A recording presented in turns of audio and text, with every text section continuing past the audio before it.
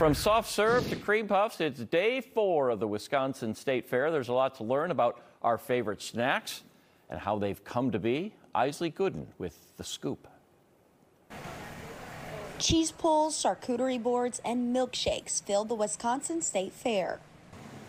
Dairy farmers and exhibitors look forward to showcasing their work each year. It's truly special to the heart. Ava Booth has been showing cows since she was just four years old. The Holstein cow produces great quality milk.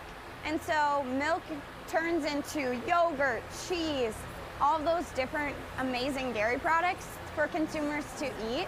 And so working with our animals is brings us true joy that we can provide healthy, nutritious dairy products for consumers to eat. The Wisconsin dairy industry is such a huge part of the state's economy.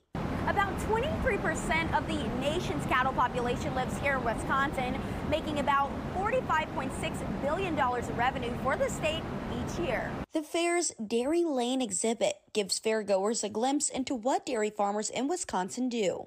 What I love about the state fair is even if you're not directly connected to agriculture or maybe you've never stepped foot on a farm or you've never had the chance to interact with animals and other livestock species, that can take place right here at the Wisconsin State Fair. Winning first place in the 2023 Bred and Owned competition, Booth now hopes to come back for more next year. Um, just the connections you build with your friends as well as your dairy heifers is pretty amazing.